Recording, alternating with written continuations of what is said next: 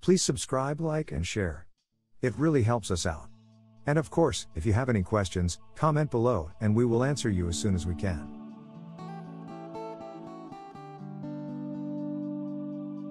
Welcome to this video in our series on A-level economics. In today's lesson, we will be learning about Unit 4.4 the financial sector. Role of financial markets. Market failure in the financial sector. Role of central banks. If you haven't seen our previous videos, click on the card above.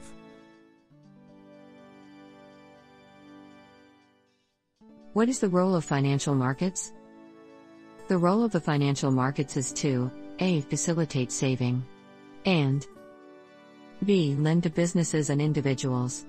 This is providing finance. These are often called financial intermediation. The bank, or more generally, the financial system, brings together savers and borrowers. Another way of saying this is that they act as intermediates. Like banks, equity and bond markets provide finance to corporate borrowers. They also see facilitate the exchange of goods and services but making payments. Another role is to D. Provide forward markets in currencies and commodities. This is when the price of a financial instrument or asset is set today but the transaction will take place at some future date. Contracts entered into the forward market are binding on the parties involved and cover financial instruments such as foreign currencies, as well as assets such as commodities. An example would be tin. This is an example of risk sharing and insurance, another key function of the financial system. The future price of a farmer's crop at harvest is uncertain, but if the farmer buys a futures contract, they can fix the price today and be certain of the price they'll get for their crop. This is a type of financial insurance where the farmer has sold, or shared, their risk to the futures market. Something else they do is E. Provide a market for equities and corporate bonds in which businesses can raise money to invest in new capacity. This is a market in which shares are issued and traded, also known as the stock market. Shares provide part ownership in a company and provide a company with capital, which is an important source of finance for a business. Also, these are markets for government bonds where the government sells debt to raise money to finance the public sector deficit. In the UK, this is the market for gilt edged securities or gilts. Now, let's look at market failure in the financial sector. Firstly, speculation and market bubbles. A speculative bubble is a spike in the value of an asset, typically house prices or stock market values. They can also be referred to as a market bubble. Poor lending decisions by bankers can help to fuel a market bubble, for example through irresponsible mortgage lending. A speculative bubble is normally caused by exaggerated expectations of future growth in the value of an asset. Investors believe that the value will rise and so, with heightened expectations, this causes the value to further inflate beyond what an objective assessment would suggest. Once belief sets in that the asset has reached its peak value, investors will quickly try to sell, causing the artificially high value to fall. As the bubble bursts, there is usually a fall in confidence and aggregate demand in the economy. The wealth effect on consumption. The bursting of the housing bubble in the US, combined with the risky trading in subprime mortgages, worked together to cause the global financial crisis of 2008. The trade in CDOs, or collateralized debt obligations, between banks proved to be one of the prime causes of the financial crisis. Mortgages in the subprime market, originating in the US, had been given to borrowers who effectively stood no long term chance of paying them back. This was not a problem for the lender provided house prices continued to rise, since they could recover their loan by forcing the sale of the house. These mortgages were packaged up with other loans and sold on to other banks through CDOs. Many were bought by financial institutions that did not fully realize just how poor the creditworthiness of the original mortgage borrowers had been, and to what extent their bundle was exposed to this. When the US house prices collapsed, it became clear that many of these CDOs were toxic assets, meaning they were effectively worth much less than buyers had expected. Individual banks did not know to what extent other banks were exposed to these. The banking system requires banks to lend to each other, but the banks were worried about lending to each other since they did not know which ones were creditworthy. Interbank lending collapsed and credit became scarce and more expensive for everyone.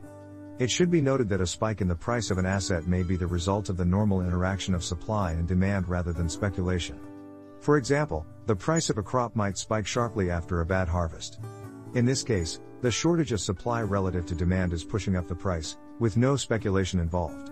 Bad weather is the cause of the price spike. Next, let's look at asymmetric information. Asymmetric information exists in any transaction where one party has less information than the other. Examples include subprime mortgages. This is when a lender does not know how likely a borrower is to repay their loan. Insurance. A car insurance company cannot tell the risks associated with each single driver. The buyer of a financial product who is unaware of the true level of risk, as in the case of CDOs or shares on the stock exchange. Regulators in the financial sector who may have insufficient information compared with the bankers about the true level of risk associated with different financial products. Asymmetric information can give rise to both moral hazard and adverse selection. A good example of adverse selection is late in the credit cycle during a boom when a lender makes loans too readily available and in doing so lends to or selects borrowers who are not creditworthy and who may default once the economy slows down. This means that adverse selection leads to the accumulation of bad risks on the lender's balance sheet.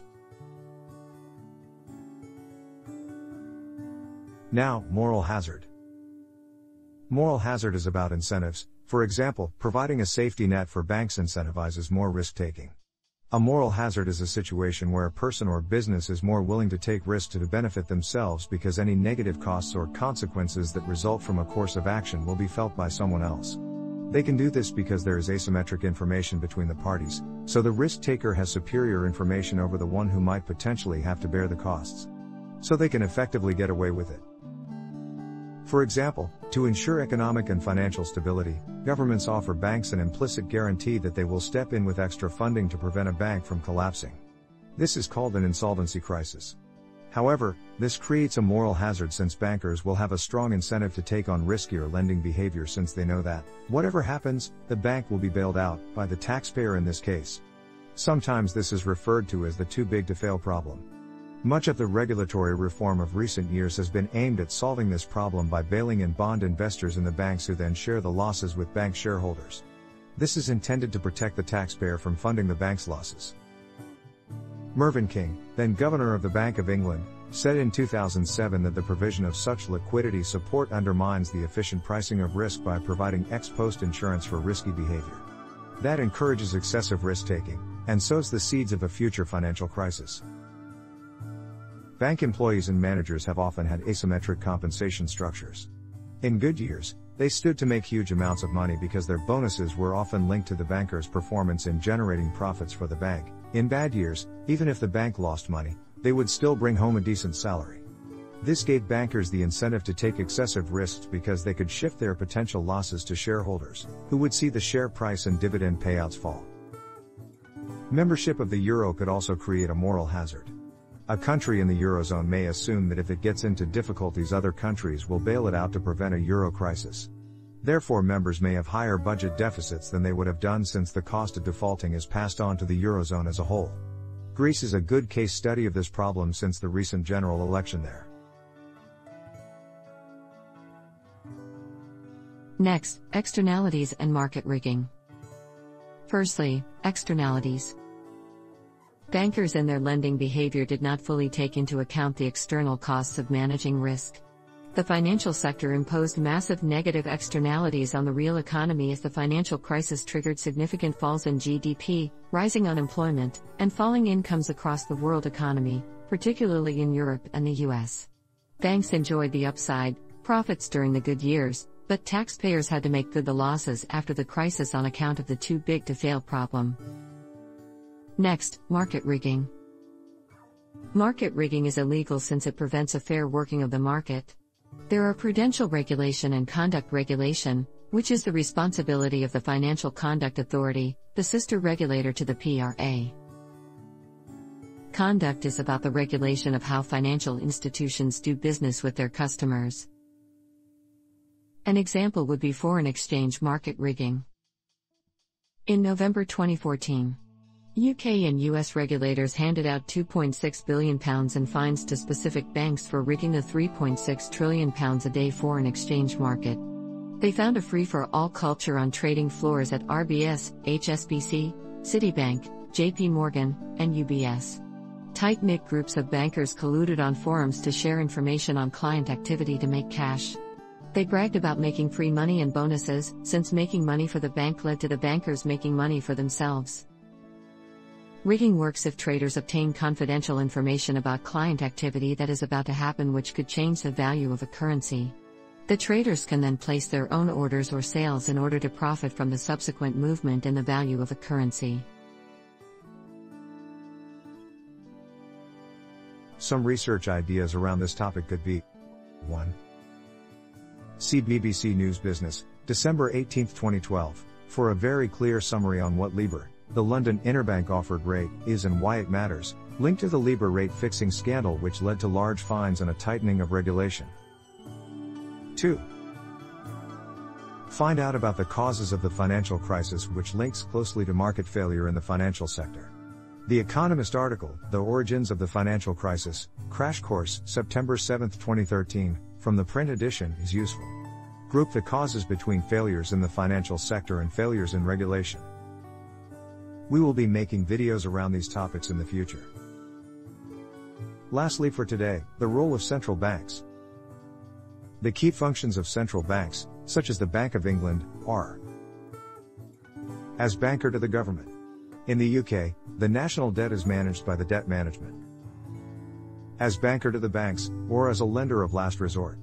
When a financially troubled bank gets into short term difficulties and is unable to raise enough cash, the central bank will lend to them to provide the liquidity needed. The reason for this is to preserve the stability of the banking and financial system so that a run on a panic ridden bank is prevented and individuals' deposits are protected. As part of the regulation of the banking industry, please note that not all central banks may be financial regulators. This varies from country to country. Implementation of monetary policy. Thank you for watching our video. Please like, subscribe and share. And comment below so we can clarify things for you.